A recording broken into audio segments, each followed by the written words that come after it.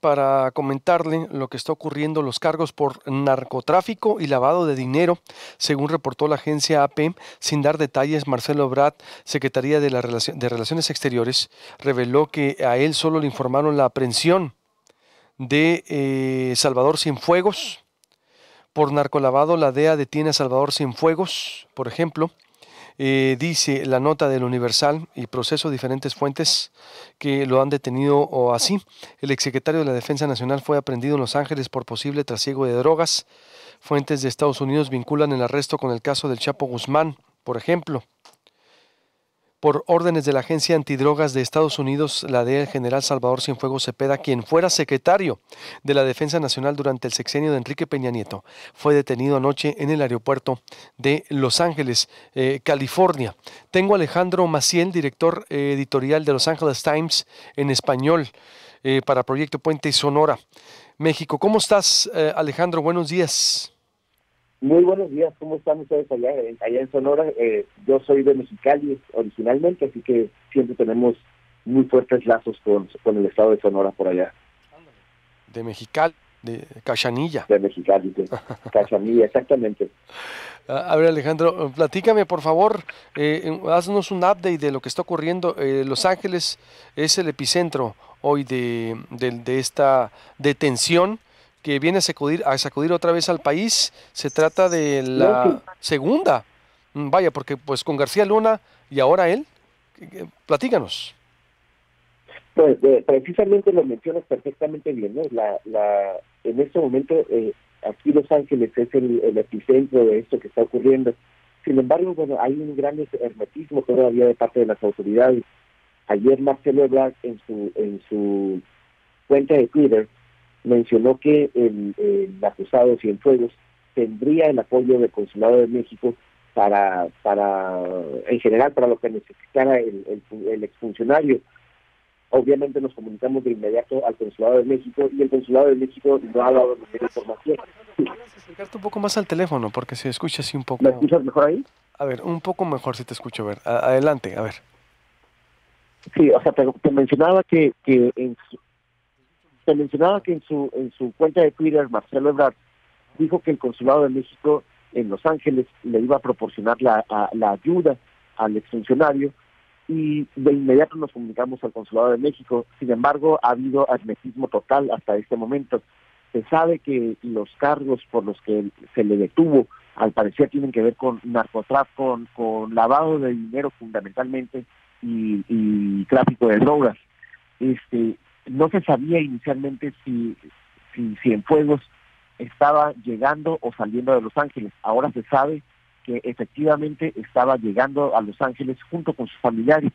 La familia fue dejada en libertad y él fue llevado al centro metropolitano de detención aquí en el centro de Los Ángeles.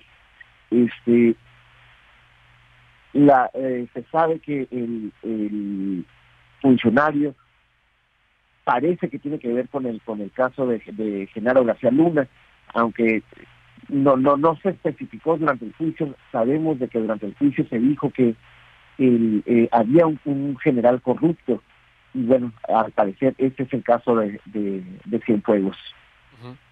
Ah, es decir, pero ya entonces hay un, un vamos a decirlo, esa línea me llama la atención. Eh, eh, ¿Está vinculado, no está confirmado, está vinculado con el caso García Lunas?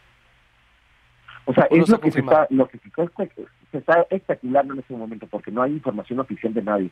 La DEA tampoco ha querido dar información. En este momento nosotros, por ejemplo, en el periódico estamos con nuestras oficinas en Washington y en la Ciudad de México, estamos tratando de confirmar qué, qué, qué datos hay precisos sin embargo, hasta el momento hay, gran hermetismo. Lo único que se sabe es lo que te digo, ¿no? Durante el juicio a, a Genaro García Luna, en alguna de las audiencias se habló de un general corrupto. Nunca se dio el nombre y ahora se, se cree, se piensa que se podrían haber estado refiriendo a Cienfuegos. Eso está interesante, es decir... Eh, eh, sí, cómo no. Mm, sin duda, digo, nos faltaría por confirmar. ¿Es en los medios donde está corriéndose esa versión, por ejemplo? Que faltaría por confirmar sí, ciertamente. Sí, o sea, ya hay alguna, por ejemplo, el New York Times está, está mencionando, eh, está vinculando el caso del Chapo con y Genaro García Luna con esta detención. No lo afirma, pero por lo menos lo vincula. Entonces hay varios hay varios indicios ya por ahí que tienen que ver con eso, ¿no? El New York Times y, qué otros medios, ¿cómo está reaccionando también la prensa por allá? En la mañana escuchaba NPR, National Public Radio, le dio importancia a la nota, por ejemplo, no sé, los noticieros, eh, dices el New York Times, ¿dónde lo trae, por ejemplo?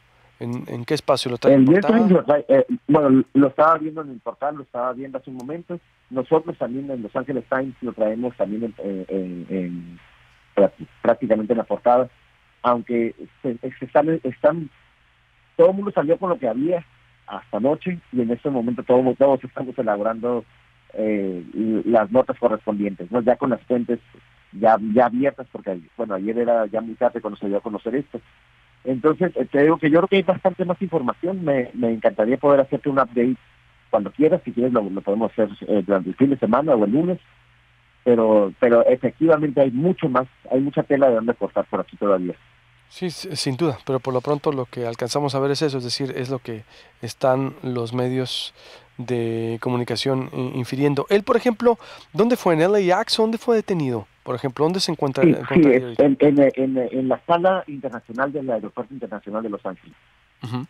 entonces, eh, este, ahí bueno siempre siempre se manejan con gran hermetismo ¿no? o sea siempre siempre eh, cuando hay una detención de alto perfil se lleva a cabo muy muy discretamente y solo se dan comunicados sin embargo lo que llama la atención es que de parte de las autoridades locales no ha habido una una información lo cual quiere decir que, que tiene que ver con la DEA. Definitivamente fue la DEA quien, quien hizo el arresto.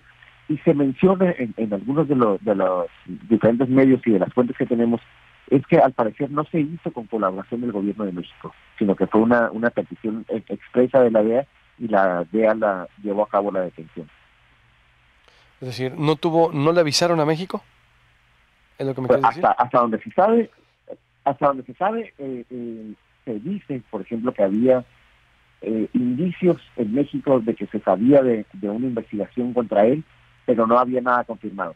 Eh, Marcelo Ebrard menciona que fue el embajador de, Estados Unidos el que le notificó de la detención.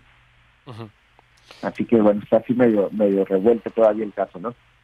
Bueno, pero aparte es, una forma de operar también siempre, ¿no? De, las autoridades de Estados Unidos no, no informan de sus operaciones. Exacto. y bueno, y, tiene que ver, yo, yo supongo, y ahí sí estoy en el terreno de la especulación, que pues forma parte de todo un operativo de la DEA tras las declaraciones de Genaro García Luna. Estoy casi convencido de eso, ¿eh? o sea que hay, o sea que ya está empezando a salir una serie de información que, va a generar otras detenciones. Bien. Así que bueno, esperemos a ver, a ver qué más pasa con esto. Bien, por lo pronto sí, exacto. Por lo pronto recordando ese aspecto muy importante durante el juicio de el mismo general Mm, del, mismo García Luna es lo que se estaba, pues de alguna manera, bueno, se mencionó ¿no? a un general de, alto rango. Eso es, eso es importante. Exacto, eso es muy importante porque, bueno, se da exactamente casi a, eh, unos meses de esas declaraciones, ¿no?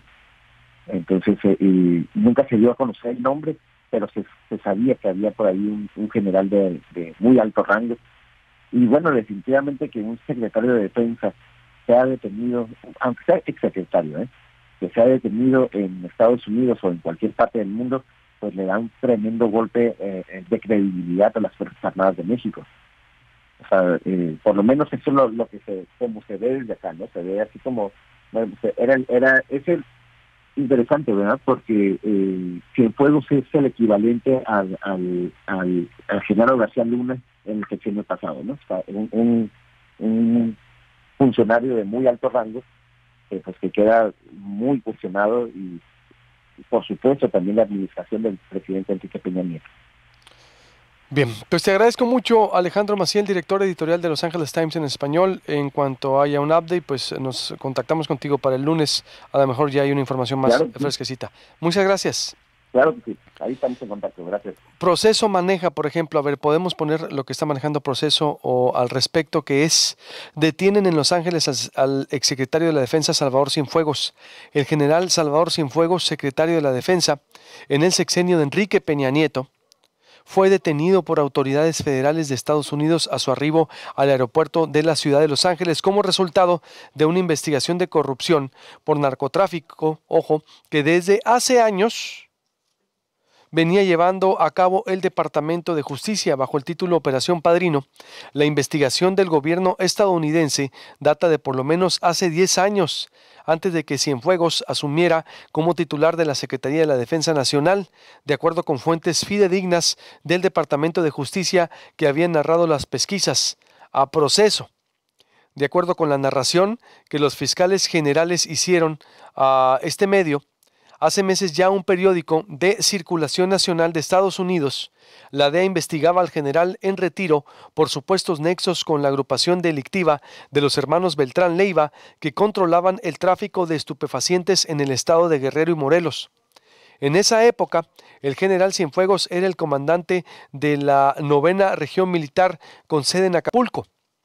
El expediente judicial del caso del general Cienfuegos está bajo la jurisdicción de la Corte Federal del Distrito Este en Brooklyn, en New York, entidad en la que también en la que también se procesa por narcotráfico al que fuera secretario de Seguridad Pública de Felipe Calderón, Genaro García Luna.